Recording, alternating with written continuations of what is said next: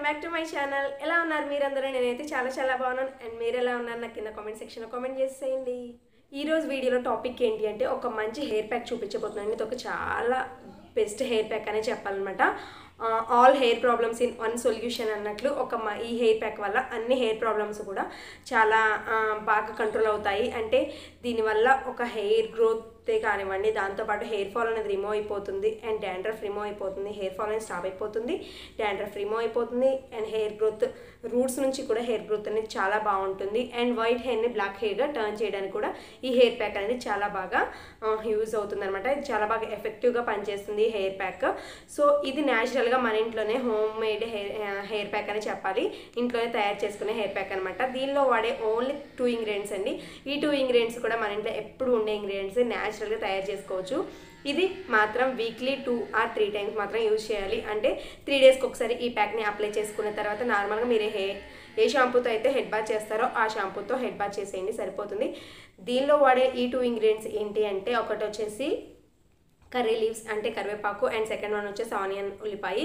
So ఈ రెండు two ఇంగ్రీడియంట్స్తో నేను ఈ హెయిర్ ప్యాక్ అనేది ప్రిపేర్ చేస్తాను ఈ టూ ఇంగ్రీడియంట్స్ ఏంటంటే ఒక కరివేపాకు అనేది వైట్ హెయిర్ని బ్లాక్ హెయిర్గా టర్న్ చేయడానికి అండ్ హెయిర్ గ్రోత్ అనేది స్కాల్ప్ నుంచి కూడా మనం మసాజ్ ఇవ్వడం వల్ల రూట్స్ నుంచి కూడా గ్రోత్ అనేది బాగుంటుంది అండ్ బేబీ హెయిర్ కూడా చక్కగా గ్రోత్ ఉంటుంది. సో దాంతో పాటుగా ఆనియన్లో వెళ్ళే సల్ఫర్ కంటెంట్ అనేది మన హెయిర్కి చాలా బాగా హెల్ప్ అవుతుంది. దీనివల్ల రక్త ప్రసరణ అనేది బాగా జరుగుతుందండి. బ్లడ్ సర్క్యులేషన్ అనేది బాగా జరుగుతుంది. బ్లడ్ సర్క్యులేషన్ అనేది బాగున్నప్పుడు హెయిర్ గ్రోత్ కూడా ఆటోమేటిక్గా ఫాస్ట్గా ఉంటుంది. సో ఈ హెయిర్ ప్యాక్ అనేది బెస్ట్ రిజల్ట్ ఉంటుంది. అన్ని హెయిర్స్ వాళ్ళకి ఈ ప్యాక్ అనేది యూజ్ అవుతుందండి. ఇది న్యాచురల్గా మన ఇంట్లో తయారు చేసుకునేది ఎటువంటి కెమికల్స్ కల కలిపి కలవకుండా కెమికల్ ఫ్రీ ప్యాక్ కాబట్టి ఇది ఎటువంటి వాళ్ళకైనా కానీ ఈ ప్యాక్ అనేది చాలా బాగా యూజ్ అవుతుంది. సో ఇంతకుముందు ప్రీవియస్ వీడియోలో నేను ఆల్రెడీ ఇంతకుముందు ఒక హెయిర్ ప్యాక్ పెట్టాను అండ్ ఆయిల్ కూడా పెట్టాను. నేను ఇక్కడ స్క్రోల్ కూడా చేస్తున్నాను చూడండి. అండ్ దీంట్లో అడిగిన డౌట్స్ ఏంటంటే మందర ఫ్లవర్స్ అండ్ లీవ్స్ ఈ ఆయిల్లో యూజ్ చేయొచ్చు అని చెప్పి అడిగారు. ఇది వచ్చి గుంటకరడాకు ఆయిల్ గురించి నేను చెప్తున్నాను.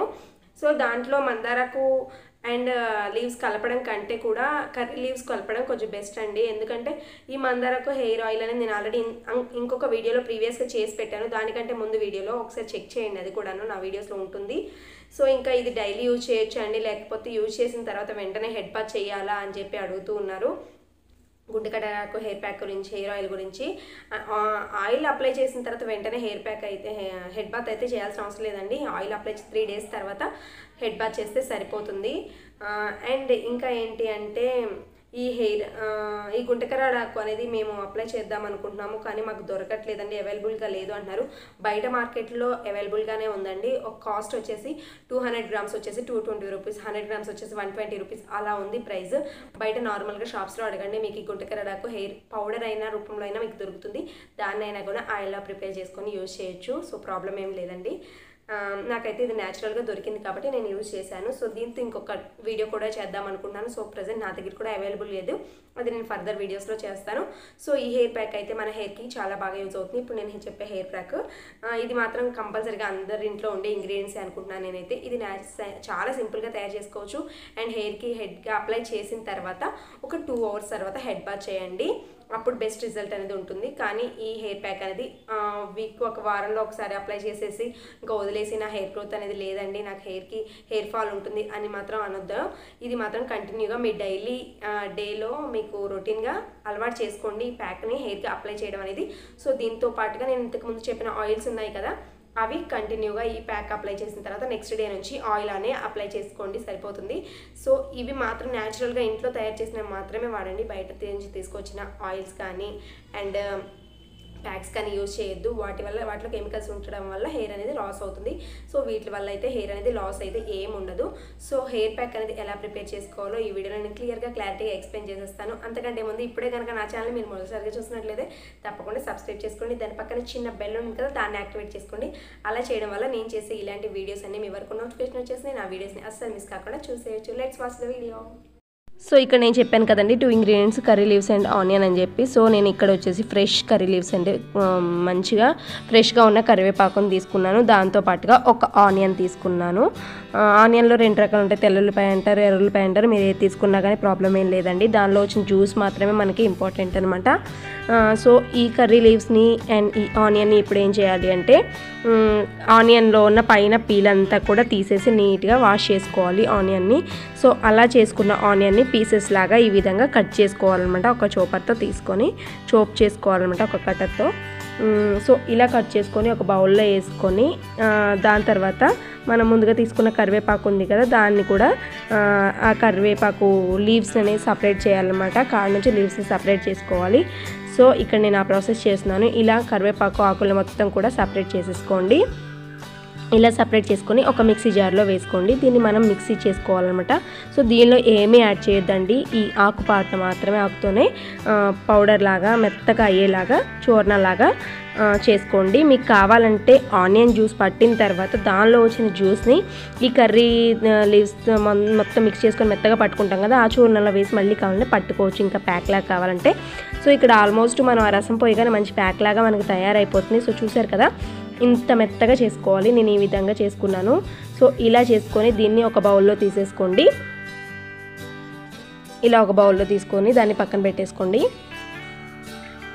ఇది ఎందుకంటే కరివేపాకు ఈ మధ్య చాలామంది అంటే ఫాస్ట్ ఫుడ్ తినడం వల్ల పిల్లల దగ్గర నుంచి కూడా ఎయిట్ ఇయర్స్ టెన్ ఇయర్స్ పిల్లల దగ్గర నుంచి కూడా వైట్ హెయిర్ అనేది ఎక్కువగా వస్తూ ఉందనమాట అంటే బాల్ నేర్పు అంటారు కదా అది కూడా వస్తుంది.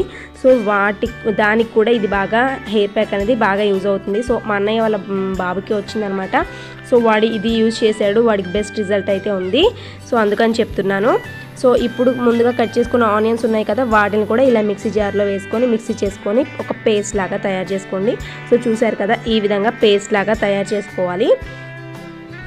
ఇప్పుడు మనం ఈ రెండింటిని కలిపి మిక్స్ చేయాలి. దాన్ని ఎలా అంటే ఒక క్లాత్ తీసుకోండి ట్రాన్స్పరెంట్ క్లాత్ ఏదైనా పర్లేదు. మంచిగా జ్యూస్ అనేది కిందకి సపరేట్ అయ్యేలాంటి క్లాత్ అనమాట ట్రాన్స్పరెంట్ క్లాత్ తీసుకోండి.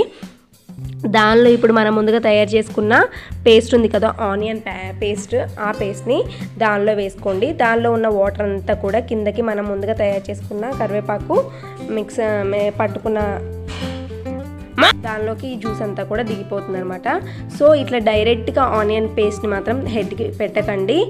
దానిలో వచ్చిన జ్యూస్ని సపరేట్ చేసుకొని మాత్రమే ఇలా ప్యాక్ లాగా తయారు చేసుకొని పెట్టండి. దీనిలో సల్ఫర్ కంటెంట్ అనేది ఎక్కువగా ఉంటుంది. సో అది హెయిర్ గ్రోత్కి చాలా బాగా హెల్ప్ అవుతుంది. మనం ఆయిల్ అప్లై చేసినా కానీ ఏంటంటే అప్పటికప్పుడు ఆయిల్ మనం కాగబెట్టుకొని కా చల్లార్చుకొని గోరువెచ్చని ఆయిల్ని హెయిర్కి అప్లై చేసుకుంటే హెయిర్ గ్రోత్ అనేది ఫాస్ట్గా ఉంటుంది ఎందుకంటే దానివల్ల కూడా బ్లడ్ సర్క్యులేషన్ అనేది బాగుంటుంది. కాబట్టి దాంతోపాటు హెయిర్ గ్రోత్ అనేది బాగుంటుంది. మనం ఫస్ట్ తయారు చేసుకున్న ఆయిల్ పక్కన పెట్టేసుకున్నా కానీ ఎప్పుడు ఆయిల్ అప్లై చేసుకుంటే అప్పుడు కొంచెం గోరువెచ్చగా చేసుకొని దాన్ని హెయిర్కి అప్లై చేసుకొని రాసుకుంటే దాంతో కూడా హెయిర్ అనేది ఫాస్ట్ గ్రోత్ ఉంటుంది. సో ఇక్కడ చూసారు కదా ఈ విధంగా ఒక మంచి ప్యాక్ అనేది మనకి హెయిర్కి ప్రిపేర్ అయిపోయింది. మనం ఇప్పుడు కావాలంటే మళ్ళీ ఒకసారి మిక్సర్ జార్లో వేసుకొని ఇంకా పేస్ట్ లాగా ఫైన్గా కావాలంటే కూడా ఒకసారి పట్టుకోవచ్చు. సో చూసారు కదా ఫైనల్గా ఇలా ప్యాక్ రెడీ అయిపోయింది. హెయిర్ ప్యాక్ అనేది ఎలా ప్రిపేర్ చేసుకోవాలో చూశారు కదా ఇప్పుడు హెయిర్కి ఎలా అప్లై చేసుకోవాలో అది కూడా చూపించేస్తున్నాను చూసేయండి మరి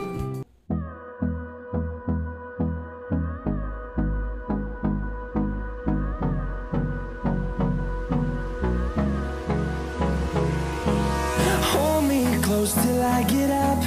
Time is barely on our side.